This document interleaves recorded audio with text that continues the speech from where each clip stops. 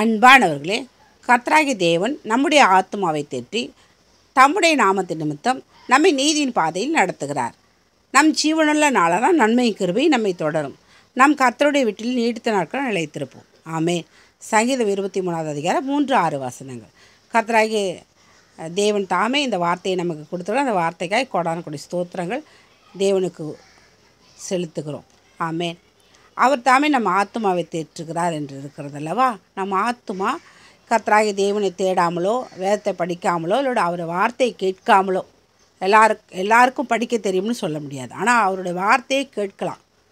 காதுகள் காதுகள் நன்றாக இருந்தால் நிச்சயமாக அவருடைய வார்த்தையை நம்ம கேட்கலாம். வார்த்தையை கேட்காமலோ அவருக்குரிய காரியங்களை அதாவது கர்த்தருக்குரிய காரியங்களை செய்யாமல் இருந்தாலும் இந்த ஆத்மா வந்து தேற்றப்படாமல் அலைப்பாய்ந்து கொண்டு இருக்கும் இந்த ஆத்மாவுக்கு கர்த்தருடைய வார்த்தை தான் சாப்பாடு. இன்னும் கர்த்தராகி இயேசு ஏற்றுக்கொள்ளாமல் இருக்கிறவர்களை நாம் என்ன சொல்லுவோம்? அவருடைய ஆத்மா இறந்து போயிடுச்சு.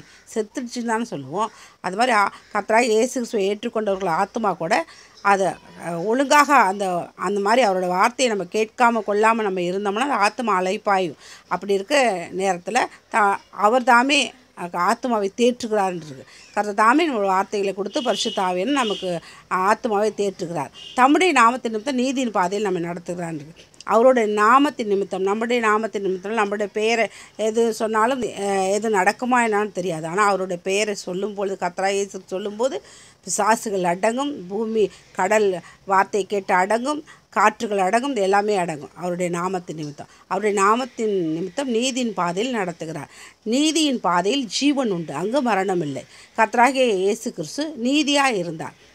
நீதியாக இருந்தவர் ஏன் மரணித்தார்னு கூட கேட்கலாம். மர இறந்தார்னு கூட சொல்லு. மூணா மூன்றாம் நாள் உயிரோடு இருந்தார்னு சொல்கிறோம்ல இறந்து. ஆனால் அவர் தன்னுடைய ஆவியை ஒப்பு கொடுத்தார். அப்படி பார்க்கும்போது அவர் இறக்கவில்லை. தன்னுடைய ஆவி ஒப்பு தான் கொடுத்தார். ஒருவர் இறக்குறாருன்னா நம்ம ஆவியை ஒப்பு கொடுக்க முடியாது.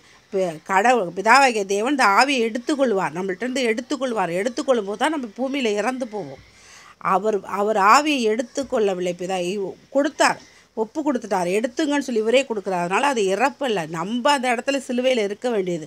நம்ம இறந்து போக வேண்டிய இடத்துல கத்ராகி இயேசு கிறிஸ்து இருந்து அவர் அந்த மரணத்தை ஏற்றுக்கொண்டார். அப்படின்னா அவர் மரணித்தார்னு சொல்ல முடியாது சொல்ல அவர் அவர் நீதிமான். அதனால் அழகாக நம்மளுடைய மரணத்தை ஏற்றுக்கொண்டு இந்த பூமி பூமியிலே அவர் வாழ்ந்து மூன்றாம் நாள் உயிரோடு எழுந்து அவர் அவர் தாமே பரத்துக்கு பரலோகத்துக்கு பிதாவின் வலது பரிசத்தில் அமர்ந்திருக்கிறார். இப்பொழுது போய் ஆனால் நாமும் அந்த பூமியில் நம்ம அப்படி இருக்கும்போது நாம் நீதியின் பாதையில் ந- அவர் நடத்துகிறார். அந்த நீதி பாதையிலே நாம் நடக்கும்போது நாமும் இந்த மரணத்தை காணாமல் எடுத்துக்கொள்ளப்படுவோம் இந்த பூமியிலே உண்டாகும் ஒரு மரணம் உண்டு.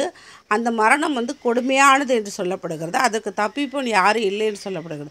அதற்கென்று நாம் குடும்ப நம்பி நம்ம குடும்பத்தை காப்பாற்றணும்னா நீதியின் பாதையில் நம்ம நடக்கணும். நீதினா தேவனுடைய வசனம் தான் அதுபடி நடக்கும்போது மரணம் இல்லாமல் நாம் எடுத்துக்கொள்ளப்படுவோம். இப்படியாக ஒரு ஒரு பாக்கியம் கொடுத்துருக்க கத்ரா இயேசு கிறிஸ்து இந்த பூமியில் எடுத்துக்கொண்டு கிறிஸ்தவர்களாய் உண்மையாய் வாழும்போது இந்த பாக்கியம் அவர்களுக்கு மாத்திரமே உண்டு. அப்படியே நாம் இருக்க முடியும். அப்படி கிருபை நன்மையும் கிருபையும் நம்மை பின்தொடரும். கத்தருடைய வீட்டில் நீடித்த நாட்கள் அழைத்திருப்போம். அப்படியே இங்கே பூமி தீர்க்காயுசை நமக்கு கொடுக்குறார். நன்மையும் கிருமையும் நம்மை பின்தொடருமா? நம்ம வந்து அதை கொண்டு அதை அழைச்சிட்டு வரணும்னு அவசியம் இல்லை. நம்ம எங்கே இருக்கிறோமோ அதை பின்தொடர்ந்துக்கிட்டே இருக்கணும். நன்மையும் கிருமையும் பின்தொடர்ந்தால் வேறு என்ன வேணும்? நீடித்த நாட்கள் இந்த பூமியிலே பூமியில் உண்டான எல்லா நன்மைகளையும் பெற்று நம்ம வாழ முடியும். அப்படியே கத்ரா ஏசு சொல்லுகிறார். கத்ரா ஏசு கிறிஸ்துவாகிய பிதா பிதா சொல்லுகிறார். கத்ரா ஏசு கிறிஸ்து ரத்தத்தை ஏற்றுக்கொண்டவர்கள் அவர் கத்ரா ஏசு கிறிஸ்துவை தன் சொந்த ரட்சகராக ஏற்றுக்கொண்டவர்கள் இந்த ஆசீர்வாதம் நிச்சயமாக உண்டு. நிச்சயமாக ஒரு எது இருக்குதோ இல்லையோ நிச்சயமாக பரத்துக்கு நம்ம நிச்சயம் செல்லுவோம் வருகையில் எடுத்துக்கொள்ளப்படுவோம். இல்லைன்னா நமக்காக மட்டுமே வந்து கூட அவர் நம்ம எடுத்துக்கொள்ள போக நம்ம ஒரு வல்லமை உண்டு. அதாவது நம்ம விசுவாசித்தா அந்த அந்த விசுவாசம் வந்து அவர் அவர்கிட்டருந்து வல்லமை புறப்பட்டு நம்மள்கிட்ட கொண்டு வருமா. அந்த வல்லமை வந்து நம்மளை அழைச்சிட்டு போகக்கூடிய ஒரு வாய்ப்பு இருக்குது ஏன்னா நான் அப்படியாக போயிருக்காங்க. அப்படியாக சொ- நான் சில புத்தகங்களை நான் படிச்சிருக்கேன் அந்த மாதிரி. சாட்சிகளை நான் படிச்சிருக்கேன். அந்த மாதிரி அந்த மாதிரி இருக்கும்போது அவங்க தன்னை அறியாமல் மறைஞ்சு போகிறத ச ப பக்கத்தில் இருந்தவங்க பார்த்தவங்க எழுதி நான் நான் படிச்சிருக்கேன் அதெல்லாம் புத்தகங்களை. உண்மையாக நம்ம கர்த்தராக இயேசு கிறிஸ்து பூமியில் ஏற்றுக்கொள்ளும் போது நாம் நிச்சயமாக நல்ல வாழ்க்கை வாழலாம். நாம் வரத்துக்கு எடுத்துக்கொள்ளப்படுவோம். இல்லை ரகசியவர்கள் எடுத்துக்கொள்ளப்படுவோம். பூமியிலே நிம்மதியாக இருப்போம் இது ஒரு நிச்சயமாக ஒரு கர்த்தர் கொடுக்குற கேரண்டின்னு சொல்ல முடியும். நாம் கர்த்தரா இயேசு கிறிஸ்துவை ஏற்றுக்கொள்வோம் ஏற்றுக்கொண்டவர்கள் உண்மையாக இருப்போம் ஏற்றுக்கொள்ளாதவர்கள் ஏற்றுக்கொள்வோம் கத்தா இயேசு கிறிஸ்து நாமத்தில் அப்படியே செய்வதற்காய் பிதாவாகிய தேவன் தாமே பரிசுத்த ஆவியன் தாமே நன்றி செலுத்துகிறோம். இயேசு நாமத்தில் ஆமே